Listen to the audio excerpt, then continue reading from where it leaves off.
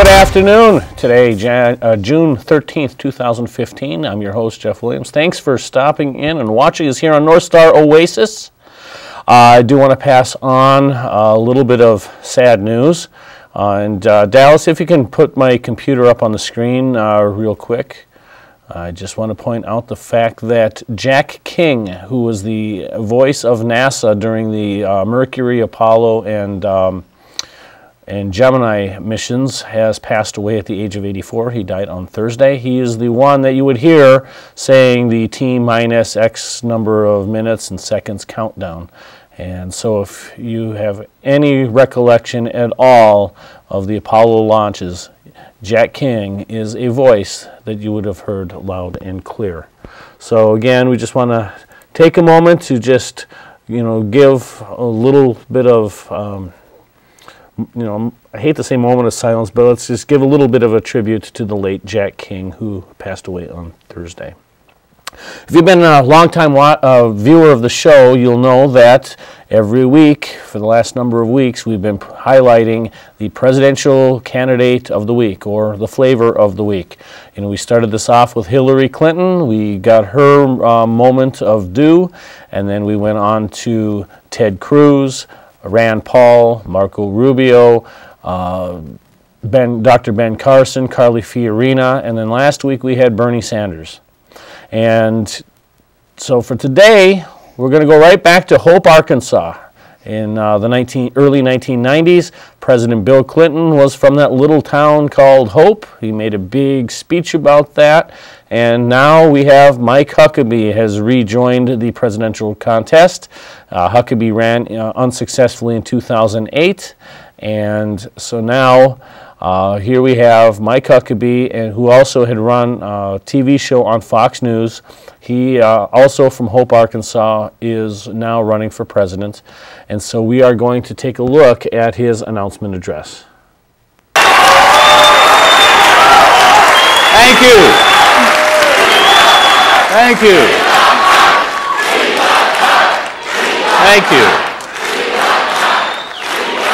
Thank you very much. Wow. Folks, it is a long way from a little brick rent house on 2nd Street in Hope, Arkansas to the White House.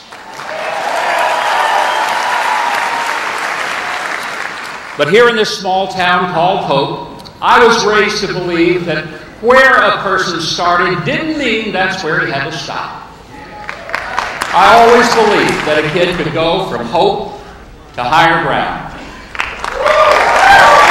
And like a lot of Americans, I grew up in a small town that was far removed from the power, the money, and the influence that runs this country. But power and money and political influence have left a lot of Americans lagging behind. They work hard, they lift heavy things, and they sweat through their clothes grinding out a living but they can't seem to get ahead or in some cases even stay even. My own parents were like that. University. And it was also here that I first ran for elected office when I ran for student council at Hope Junior High School.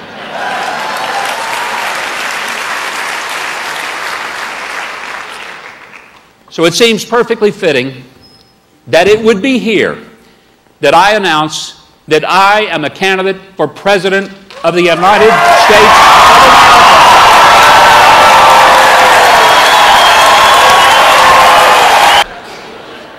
You know, it was eight years ago that a young, untested, inexperienced, and virtually unknown freshman senator made great speeches about hope and change. But eight years later, our debt's more than doubled. America's leadership in the world has completely evaporated. And the country is more polarized than ever in my lifetime. 93 million Americans don't have jobs. And many of them who do have seen their full time job with benefits they once had become two part time jobs with no benefits at all. We were promised hope, but it was just talk. And now we need the kind of change that really could get America from hope to higher ground.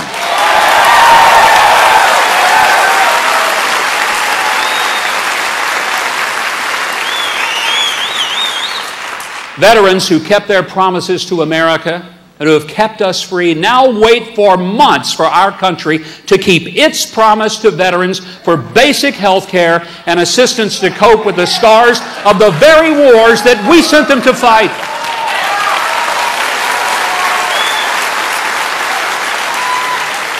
Our veterans should be getting the first fruits of our treasury, not the leftovers. Washington is more dysfunctional than ever, and it's become so beholden to the donor class who fills the campaign coffers that it ignores the fact that one in four American families are paying more than half of all of their income just for housing. Home ownership at the lowest level in decades. And a lot of young people with heavy student debt aren't likely to afford their first home for a long while. Our federal policies for affordable housing aren't designed to protect families, but rather to protect bureaucrats. We've got a record number of people enrolled in government operated help programs like food stamps, and my friend, it's not because people want to be in poverty. It's because they are part of the bottom 90% of this country of American workers whose wages have been stagnant for the past 40 years. And as president, as president, I'd launch a curative approach to health care and save money and lives, not just save a bunch of government programs. We face real threats from radical jihadism in the form of savage groups like ISIS and state terrorists like Iran. But we put more pressure on our ally Israel to cease building bedrooms for their families in Judea and Samaria than we do on Iran for building a bomb.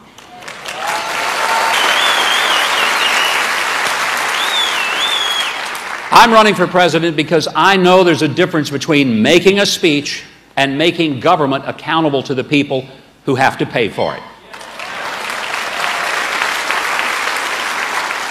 You can't spend money you don't have. You can't borrow money you can't afford to pay back.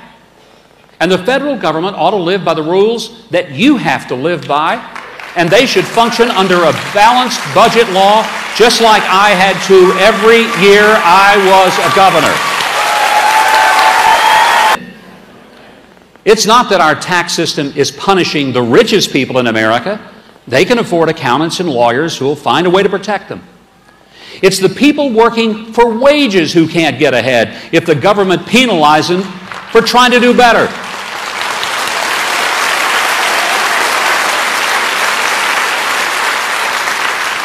As president, I'll work to pass the fair tax, which would no longer penalize people's work. And most importantly, we would finally rid ourselves of the biggest bully in America, the IRS.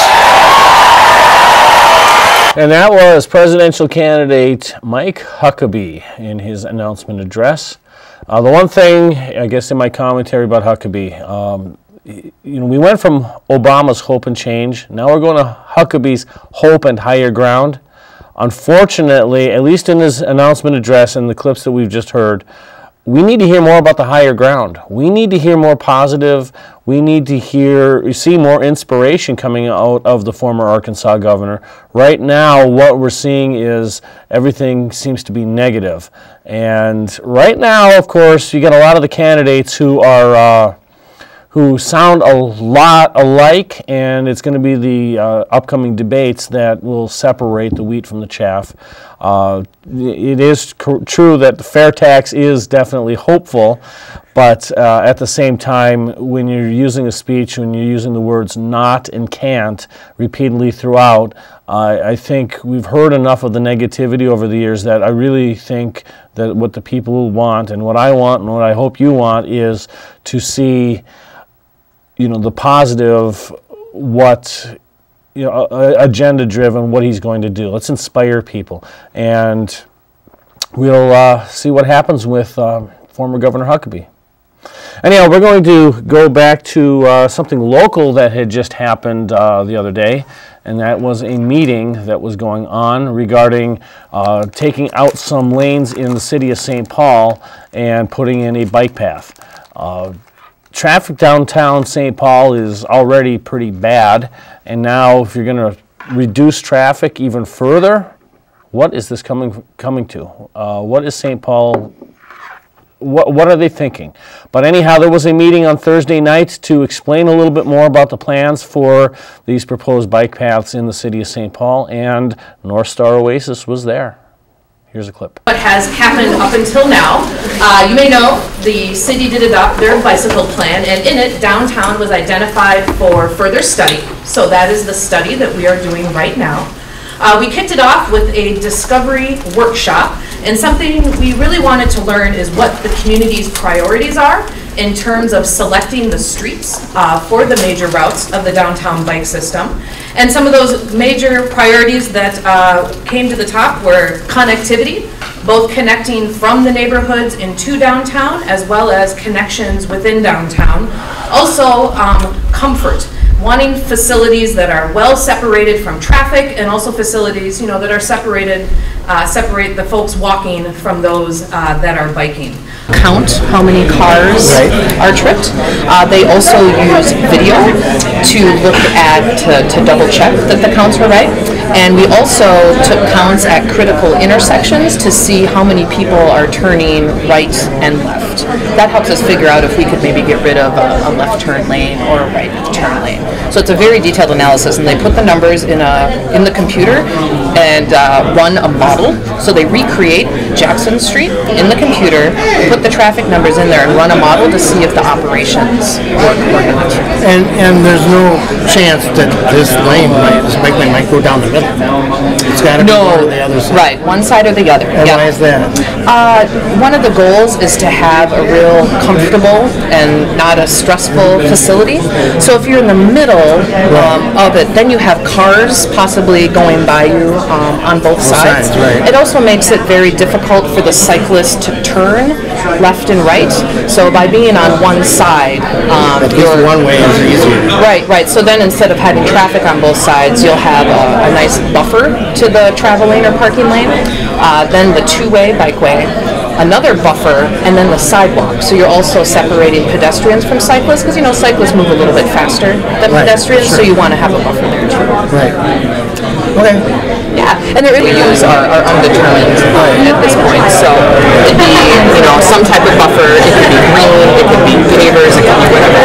And then the, the two-way bike lane here, and then another buffer to pedestrians. And then the buildings. Is this picture available electronically somewhere? Uh, not yet, but it will likely when we um, put together the survey, it would be available online that way. Yeah, my problem with the modeling that you you, you look at all, I'm from outside the city. When I come in, it's always a hassle to come in to a place where I can get at a store or a restaurant or something like that. Is there any modeling about how it's going to affect people coming into the city for a night or for the day? Yeah, uh, for Jackson Street, we did the detailed traffic modeling because we're going all the way to final design.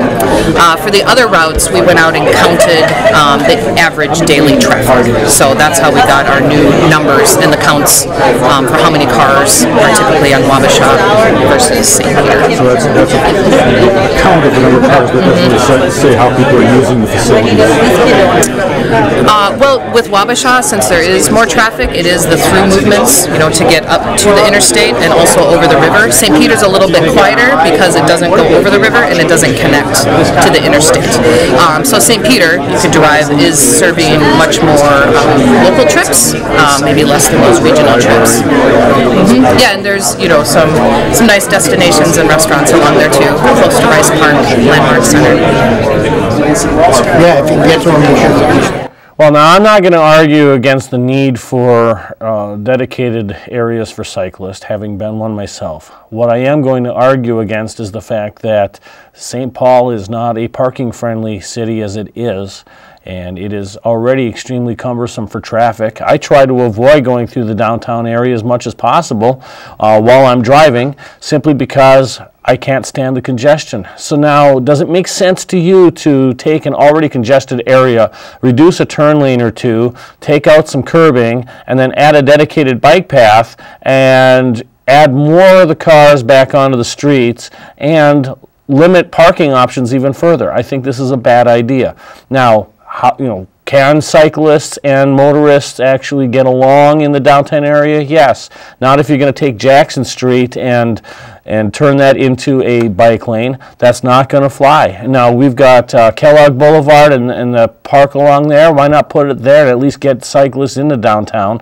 But let's not take out some of the most congested streets in the city of St. Paul and make them even narrower. I think that's a really stupid idea that they're doing. There should be another alternative. But that's our St. Paul City government for you. Uh, stay tuned. Keep watching because this is going to be on the radar, not just now, but it's going to be in the short, medium, and long terms. And I think it's something that we should really take a much closer look at, especially now that we have the Green Line train coming from Minneapolis that's already narrowed the uh, traffic lanes in uh, downtown even further. So now we're going to take out more parking spaces in order to accommodate cyclists. What's going to happen in wintertime? In winter, are we going to have de- turn this into a dedicated cross-country ski route? I think it's just a bad idea.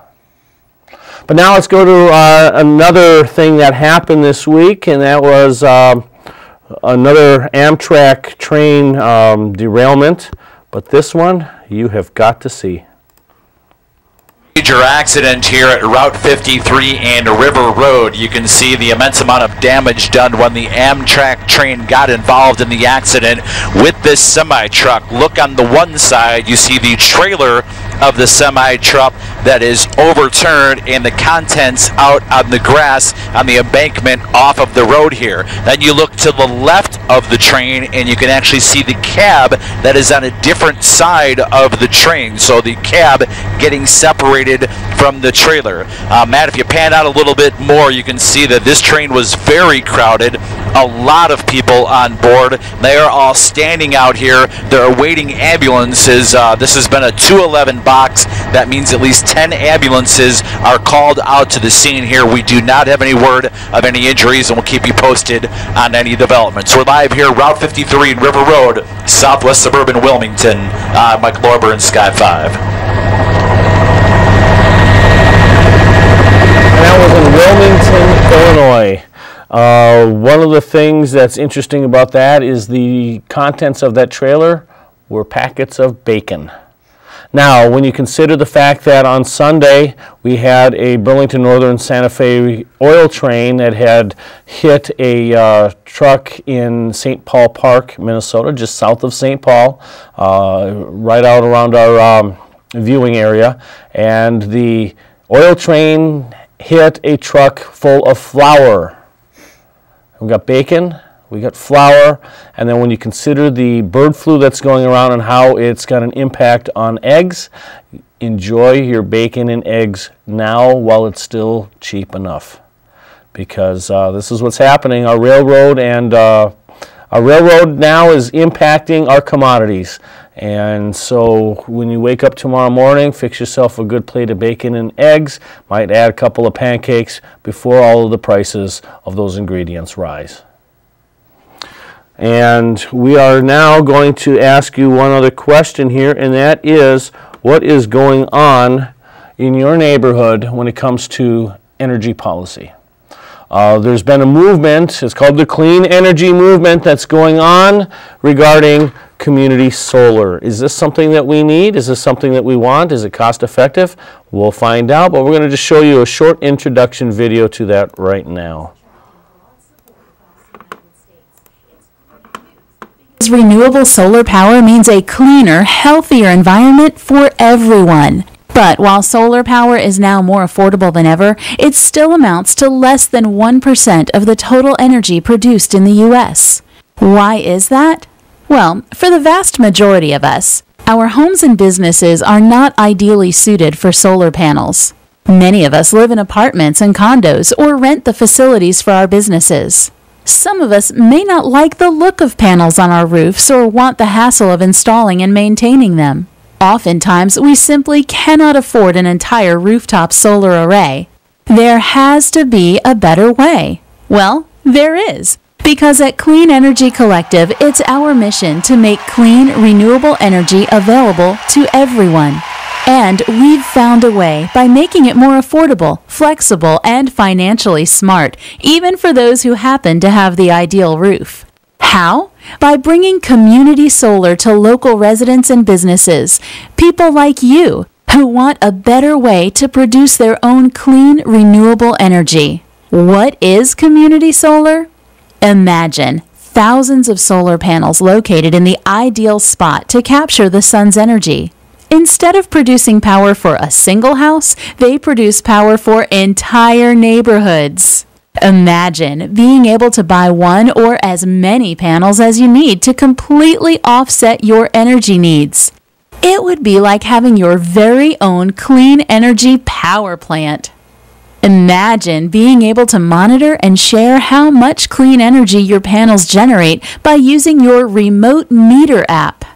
How cool would that be? And as long as you keep receiving a bill from the same utility, you can move wherever and whenever you like. The clean energy benefits will follow you. Now, here's the great part. Imagine your local utility has already agreed to purchase the power your panels generate and that it shows up as a credit on your utility bill. Well, you can stop imagining because Clean Energy Collective has already made this vision of community solar a reality. It's a major leap forward because our community solar projects are efficient, utility grade sources of energy that are built and maintained to last up to 50 years or more, twice as long as conventional rooftop solar. And since you own the solar panels, you're not stuck with lease payments that continue to go up year after year.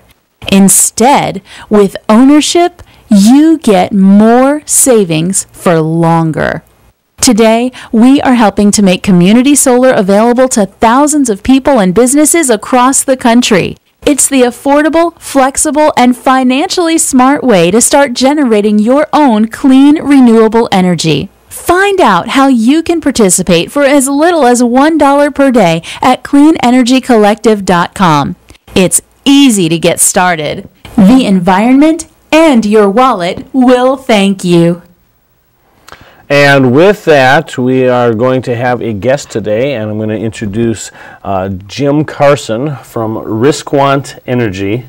And uh, Jim, welcome to North Star Oasis. Good to see you again, Jeff. So, that your impression of that video? Great marketing, very good. They're going to get uh, hook a lot of people into investing, investing into this uh, clean energy collective uh, concept. Okay, so is that a good thing or a bad thing? Depends on if you like money. If you uh, want to make a good investment, I'd say you should take a much harder look at it than uh, than this video would suggest. It's it's not as um, it's not as attractive as it um, it was would appear. It, it it only works to the extent that there are, are subsidies subsidies and mandates that support it. So can you just give us a rundown locally as to what the whole community solar initiative is? Does that mean that if I just put a solar panel up in my backyard that I can tap into this or is there a dedicated space for all of this? Well, if you're in your, if you have a, a home that you want to put your solar panel on and so on, that's, you can do that and, and the, it basically is a behind the meter application. And uh, you're allowed to do that. The, the utility is supposed to work with you on that sort of thing. Community solar though is where you take a larger installation, uh, let's say in, on land that's otherwise not being put to good use, useless otherwise, and uh, they, they build a, a large facility up to one megawatt. Uh, that's 1,000, um, well, 1 million watts or, or uh, 1,000 kilowatts, depending on how you want to measure that. So, so how, how big would that be as far as heating and lighting, the energy needs of a residential neighborhood? I mean, Uh, one home, my home is, uses a little more energy than average, and we use about one kilowatt per month. One kilo, 1,000 kilowatt hours per month. So a, a megawatt is enough to, to do about 1,000, maybe 1,500 homes for a month. okay, Now, so, so then geographically it'd be kind of like half of White Bear Lake south of Cedar, Yeah, about that? give or take, yeah. Okay. Um, now, the, there's a one megawatt limit on, on the uh, upper limit, and that's one of the areas that Xcel Energy is having a lot of uh, trouble with, because, because the developers want to take one megawatt and stack them next to each other, so that they're essentially a much larger facility but that they're taking advantage one megawatt at a time. And they're saying that that is not the way that the program is supposed to work. Basically, you can think of the, of electricity distribution as sort of like an onion. At your, the core level is your home. And you take, it's called, uh, there's the socket. And if you are investing in your, um, in, um, uh, solar panel, you have what's called socket parity, and you compare what the, the, the cost of the solar against how much it, you would pay otherwise for, for power from the grid. Then there's the, the grid, which is the outer limit, uh, which we know about, which is, which is uh, where we have um, extensive uh, markets and so on, where we have uh, market pricing and so on. And the, the cost of energy at that wholesale level is, may, is 60 to 75% less than the, the price that you pay. Uh, you're paying for a lot of services between the wholesale price and the retail price. Then in the middle, there's something which the community solar uh, folks are, are taking advantage of, and that's the, the, this, level of distribution. When you have a grid, you have a step down from the, from the, the transmission into the distribution system. Distribution only distributes power, it doesn't, there's, generation is never done inside of a distribution network. Well, what's, what uh, this uh, um, solar collective group is doing, and it's now being allowed to be doing, is to generate inside the distribution network um, to offset it. But there's, because of the way that this is put together, there's limits as to how much can be handled, and they've determined through, through engineering studies that a megawatt is the limit. Uh, so that's the, that's, that's, that's why Xcel Energy is so adamant about enforcing that one megawatt limit, is because the, Okay. the system's not set up for it. So now, can you tell me about the costs that go into creation of a uh, community solar farm? Basically, it's a solar installation, like any other solar installation that you'd find out there. Um, the cost right now is about three dollars and forty cents a watt.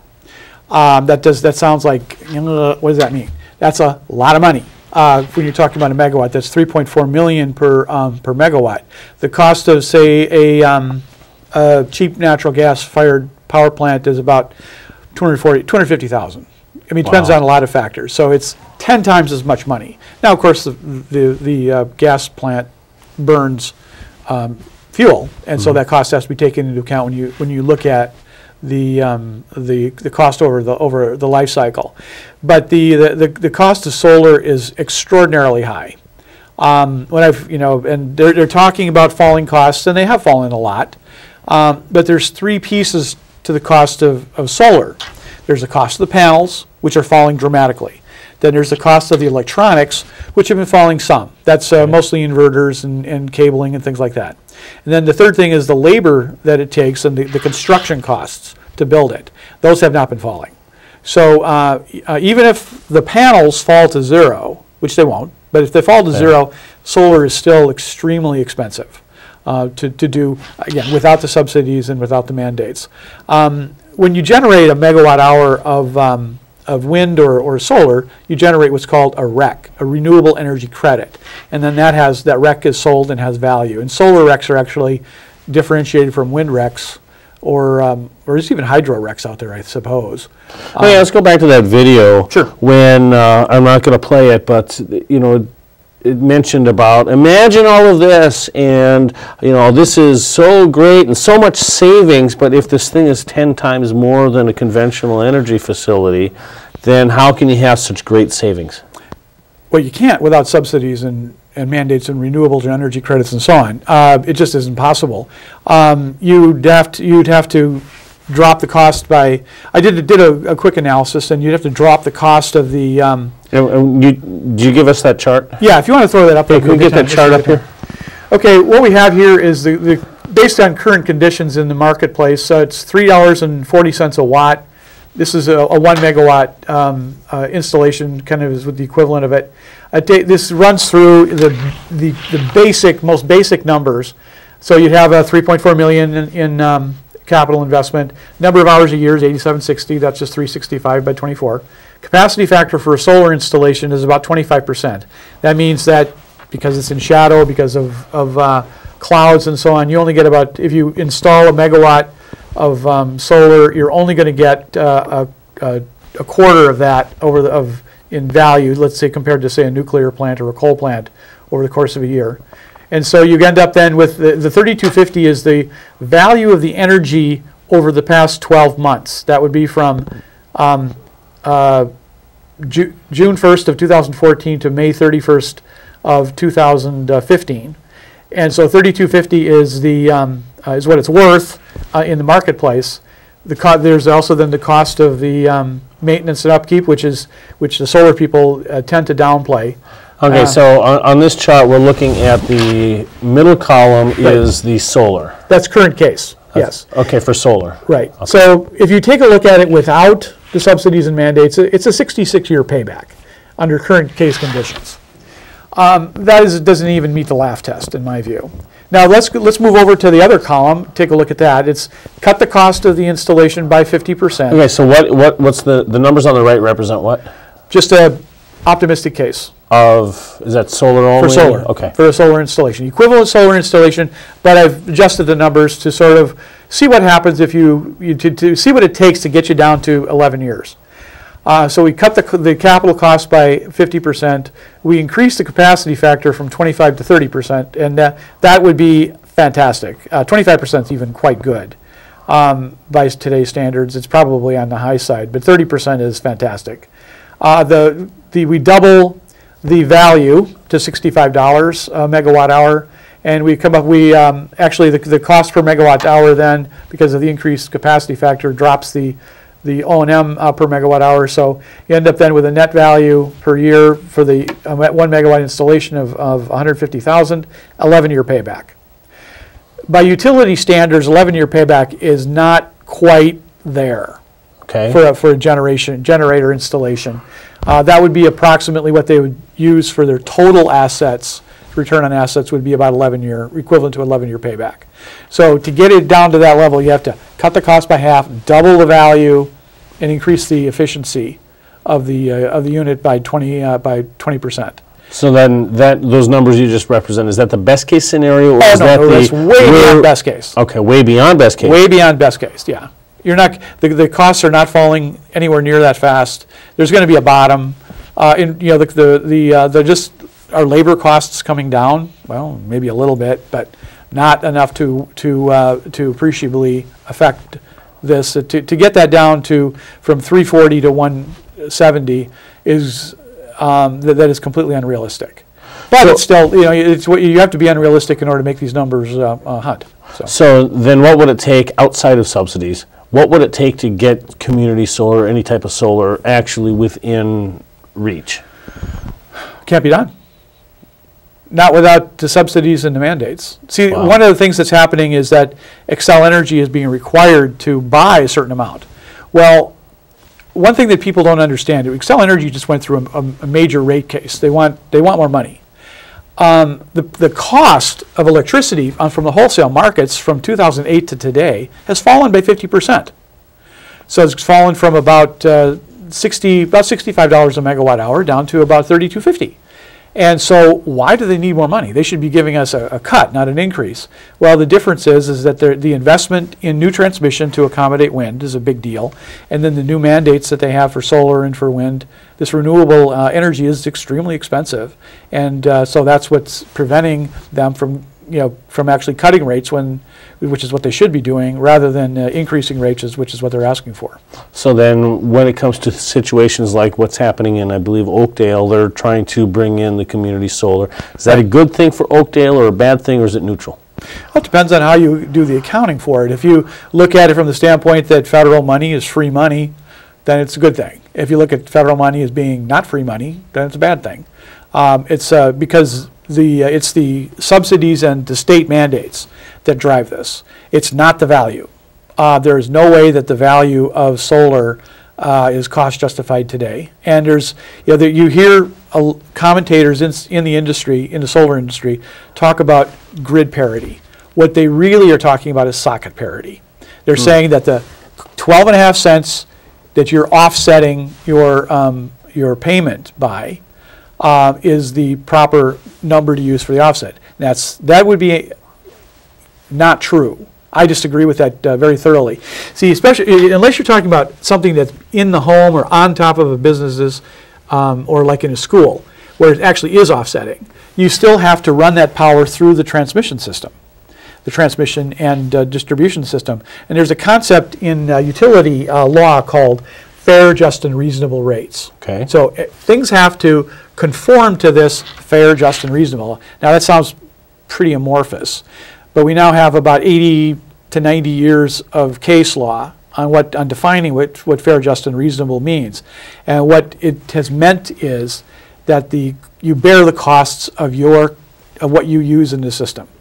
And so if you are using the transmission system, then you shouldn't be compensated as if you were actually providing that service. So let's say you're at a community solar um, installation. You, you have a piece of that. It's, you, you are being, your rate is being offset dollar for dollar, kilowatt for kilowatt against that um, uh, production. Except that that power is still going through the transmission system. The, it's being used in, in the transmission system. The, the solar uh, provider should not be being compensated for that service. That's a service that's being provided by the utility. They're actually um, essentially being paid for something that they're not doing.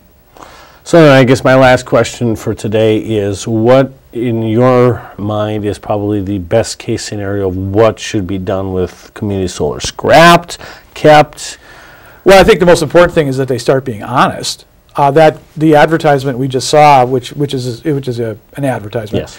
um, was um, showed no numbers and showed does not fess up to the fact that most of the value that this that this installation generates is from from the tax subsidies and and um, and is from offsets from your your electri- electricity bill when you should only be being compensated for the energy value of that. Um, that should at least be be discussed publicly. Um, the uh, the question comes in though, what we should we do for green energy? And the fact is, we've done a lot of wind. It's not working very well. Uh, we're starting to do solar now. It's it's even more costly, less effective. Um, the uh, the one area we haven't looked at is hydro. Uh, that used to be the major source of electric generation back in you know a century ago, um, up until probably the 1930s. And we should be returning to that as the um, as uh, if you want if we want green energy, we should be looking at hydro as the um, way to go because it's uh, uh, it's quite clean and it's quite uh, we have a lot of it that we're not tapping. Most of the hydro potential in the United States um, is behind dams and it's not being used at all. Um, so uh, uh, we should we should start putting generators where we already have dams, and then there's a few places where we could put uh, large scale um, dams, like uh, let's say at the foot of Fort Snelling, where the where the that little wing dam is. Yep. That's a s- what a 40 megawatt wing dam, if I'm not mistaken. They could put about Yeah, you're talking about the one over at the old uh, Fort the Assembly? Fort, yeah, the, the Fort, the old Ford Plant Dam. Um, that, that could be, you could put a real dam there and, and generate probably one to two thousand uh, megawatts of, um, of green energy. And it wouldn't affect, uh, and there's no environmental concerns because there's already a, um, waterfall about two miles upstream from where you'd put such a dam. Um, that's one thing I've tried to advocate, and every time I, um, talk to people in the green industry about damming up the Mississippi River at Fort Snelling, I get these glares that you can't imagine. Especially the folks at Fresh Energy. Well, with that, Jim, thank you for uh, joining us today. Thanks, uh, Jeff. Your website is risquant.com, R-I-S-Q-U-A-N-T dot com. That's for folks who are in the business. If you're not in the business, it's very dull.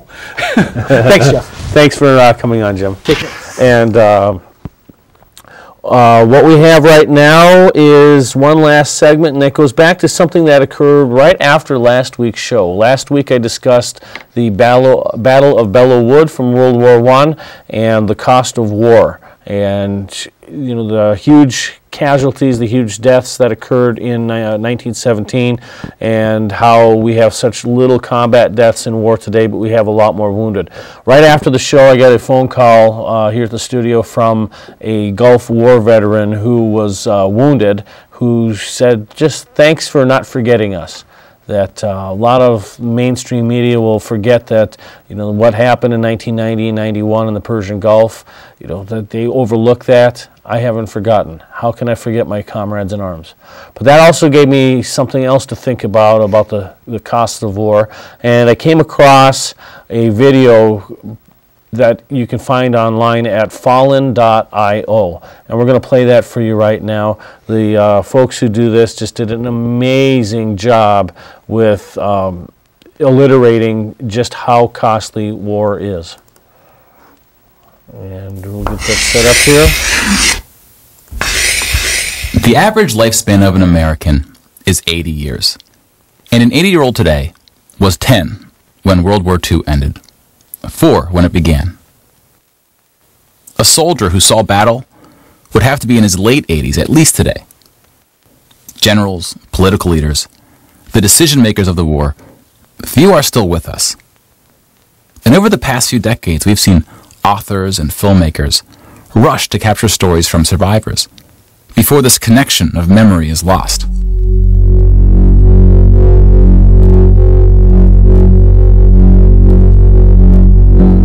This project is not about individual war stories, and it's not about survivors. We're going to tally up the tens of millions of people whose lives are cut short by the war, and see how these numbers stack up to other wars in history, including trends in recent conflicts.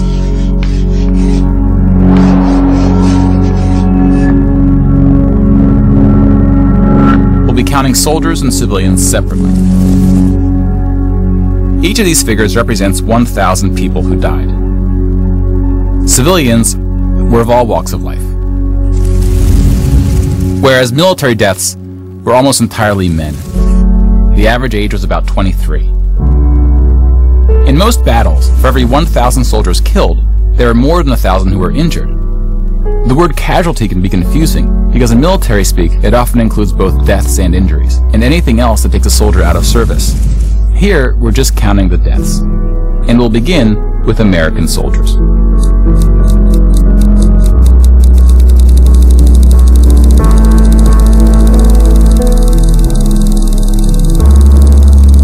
Over 400,000 died.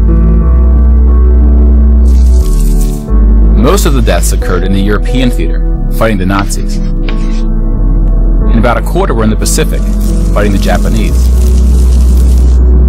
When you put them on the timeline, you see that casualties were the heaviest at the end of the war. The war began on September 1st, 1939. But the US wasn't willing to join the fight until Pearl Harbor, two years in. The deaths increased drastically on D-Day, when the Allies invaded Normandy. One of the most tragic moments of the war was on D-Day at Omaha Beach, where 2,500 Americans fell. So about the same number of US soldiers died on this single beach landing as the entire 13 years of the recent war in Afghanistan. The bloodiest battle in the Pacific was Okinawa, which lasted 82 days, during which 12,500 Americans died. About 5,000 of these deaths were at sea from kamikaze attacks.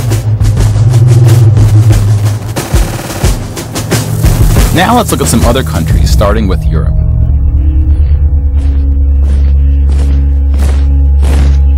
Germany started World War II when it invaded Poland. Poland ultimately lost 200,000 soldiers in the war. Most died after the invasion while the country was occupied by Germany and the Soviet Union. Germany, meanwhile, lost just 16,000 in the invasion of Poland. The Nazis went on to invade and conquer other countries, including Denmark, Belgium, the Netherlands, France, Greece, and Yugoslavia. France surrendered, but after losing 92,000 soldiers in the Battle of France. Over 200,000 ultimately fell, which includes deaths in POW camps, French colonies, and other fighting. Yugoslavia suffered almost half a million military deaths. The initial invasion brought relatively few casualties on both sides, but the deaths mounted under Nazi occupation due to guerrilla fighting, civil conflict, and mass executions. The Nazi invasions were swift, with relatively few German losses. Even the Nazi commanders expressed surprise at their success. And then we have the United Kingdom and the United States, who were not invaded but took the fight to the Nazis. Britain lost about the same number of soldiers as the US, which includes the British colonies. Germany lost about half a million soldiers fighting the US and Britain in what is known as the Western Front, which took place in France and Belgium.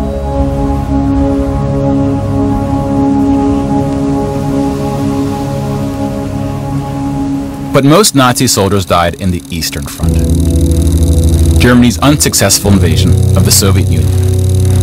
The numbers are staggering. The most famous battle of the Eastern Front, and perhaps the turning point of the European war, was Stalingrad. The German Sixth Army successfully took Stalingrad, but then got surrounded by the Soviets and cut off from food and ammunition. Half a million Nazis would ultimately die in Stalingrad. Another 100,000 were taken prisoner, of which 6,000 would ever return. POWs had a low survival rate throughout World War II, and it was particularly grim in the East. When you include these POWs, roughly the same number of Germans died in Stalingrad as all the Western Front fighting against France, the UK, and the US. And though Stalingrad was a victory for the Soviets, they suffered almost twice as many losses as Germany.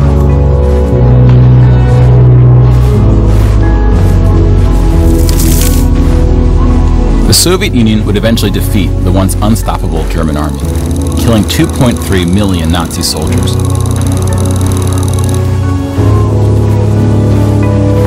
But winning the war came at a cost.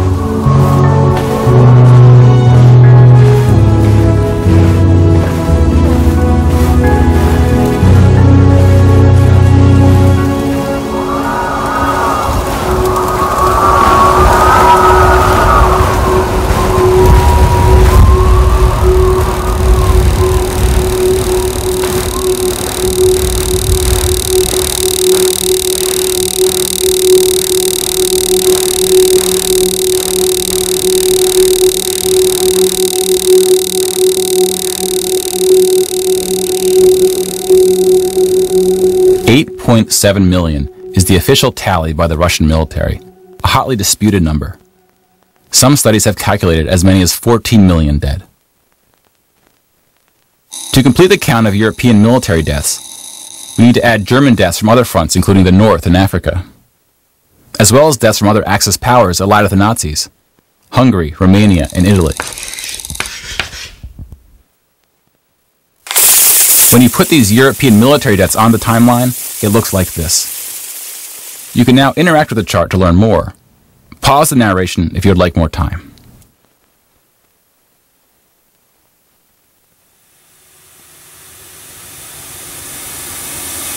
And now we switch to civilian deaths in Europe.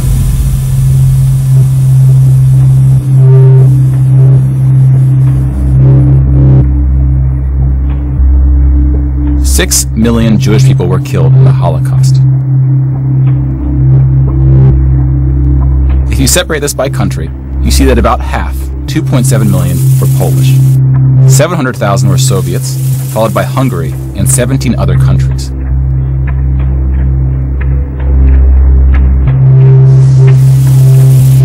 Broken down another way, about half of the 6 million were killed in the concentration camps.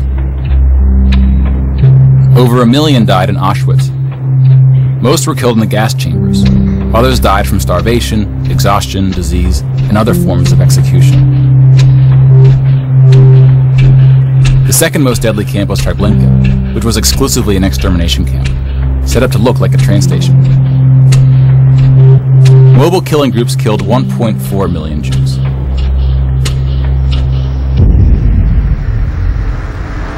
Like with the gas chambers, men were killed first to reduce the risk of revolt.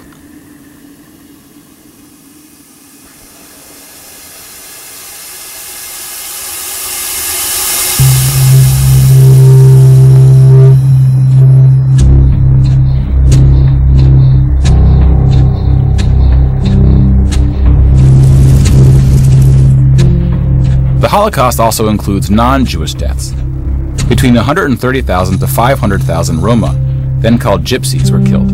The numbers are disputed. About a quarter million people with disabilities were killed. Homosexuals, Catholics, and other groups were also exterminated, but their numbers were relatively small. Some historians say that other civilian deaths should go under the label of Holocaust. About 2 million non Jewish Poles were killed under German occupation. Some of which were sent to the gas chambers at Auschwitz. When you combine civilian and military deaths, over 16% of the total Polish population died in World War II, which is the highest percentage of any country. But not the highest in total death count. The Soviet Union again tops that list, losing at least as many civilians as it did soldiers, somewhere between 10 and 20 million. A particularly dark moment for the Soviet Union was the siege of Leningrad, now St. Petersburg.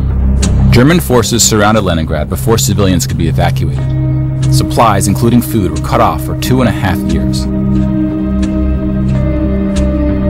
One and a half million people died as a result, mostly from starvation, mostly civilians. Stalin's cruelty towards his own people is partly responsible for these numbers. He often didn't allow civilians to evacuate from cities, thinking it would cause the soldiers protecting them to fight harder. About a million Soviets died in Stalin's own labor camps called the Gulag. Just about every country suffered civilian losses, especially countries who were invaded. While many died as a result of so-called collateral damage, the biggest numbers occurred when it was no accident. Civilians were exterminated, purposely fired upon or bombed, used as human shields, or intentionally deprived of food.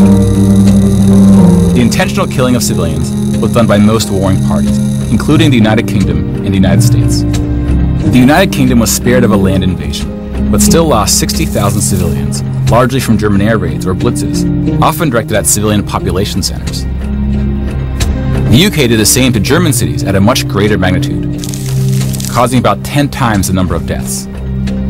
But most German civilian deaths came from the ground at the late stage of the war. When the Nazi regime collapsed, civilians living in occupied regions had to desperately flee from the advancing Soviet army. Rapes were widespread, and death estimates range from 600,000 to 3 million.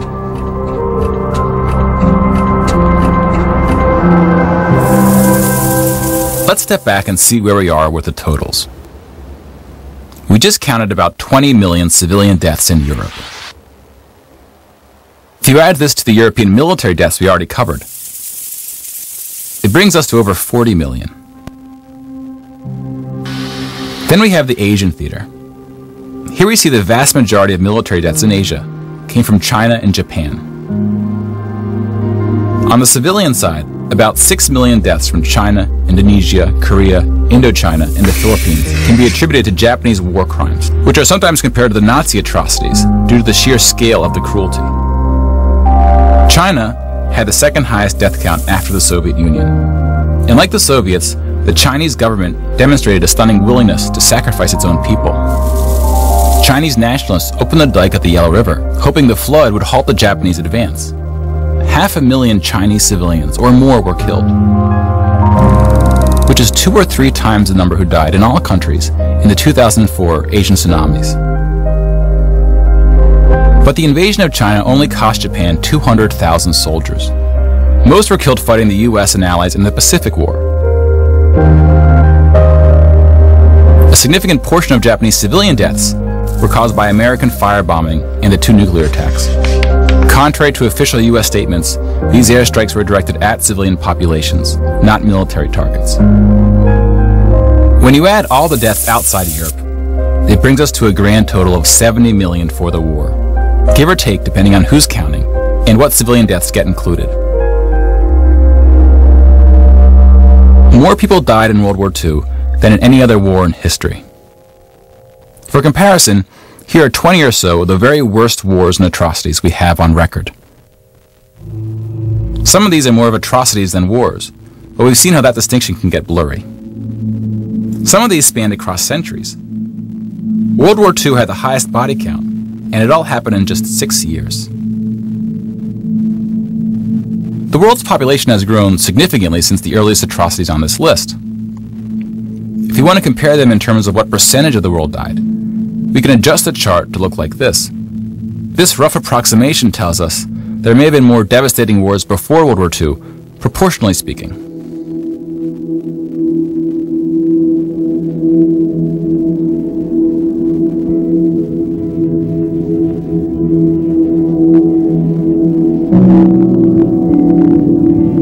When we turn to post-war conflicts, it's hard to say anything that isn't controversial.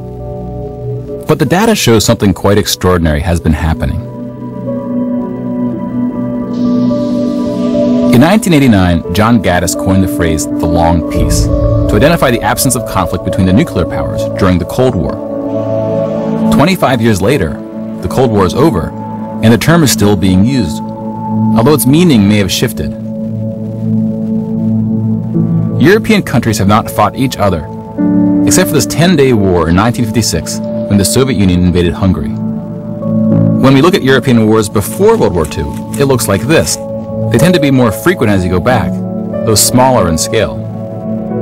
And the largest 44 economies of the world have not battled each other since World War II. Rich countries have fought poorer countries, like the US versus Iraq, but rich countries have not fought other rich countries, such a period of peace between the so-called great powers hasn't been seen since the Roman Empire. To many, peace is too strong of a word. Wars have occurred since World War II, and they can be grouped into these four categories. We don't see colonial wars anymore. We've already noted that interstate wars between rich countries have not occurred at all, and here we see wars involving smaller economies have tapered off. That leaves civil wars of two types, with and without foreign intervention. And this is what these battle deaths look like alongside of World War II. More people died fighting in World War II than in all the wars since. And again, we can't forget about world population, which has almost tripled since World War II. If we scale these numbers to show deaths in proportion to world population, showing the likelihood that a person on Earth dies in battle, the downward trend becomes even more pronounced. Now, this isn't to infer anything about why this trend is occurring. That's a discussion for another day. You can now interact with this chart to explore what conflicts are behind the totals. Now bear in mind we're just looking at battle deaths here, not civilian deaths, but those too are in decline. Peace is a difficult thing to measure. It's a bit like counting the people who didn't die in wars that never happened. We give such importance to the word peace, but we don't tend to notice it when it occurs or report on it. Sometimes it takes reminding ourselves of how terrible war once was to see the peace that has been growing around us. Of course, this trend may not continue, and it's not clear how looking at these charts can help us make the right decisions to ensure that it does. But the longer the long peace grows, the more significant it becomes. So if watching the news doesn't make us feel hopeful about where things are heading, watching the numbers might.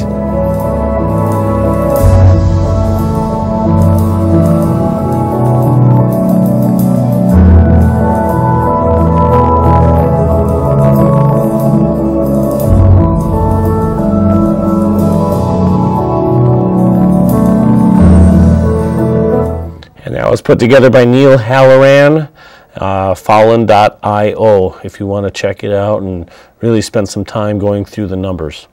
And I was also reminded uh, that I did not give our Christmas countdown. And since we're talking about the numbers, we do have 194 shopping days left until Christmas. And so, with that, uh, please follow us on Twitter, Facebook, and YouTube uh, with our handle at North Star Oasis. And then I also was uh, reminded that we do have 83 weeks and five days left until the next presidential inauguration, which is why we try to give you the presidential segment at the beginning of the show. Thanks today to Jim Carson from RisQuant Energy for joining us with that enlightened discussion on community solar. And we will see you next week.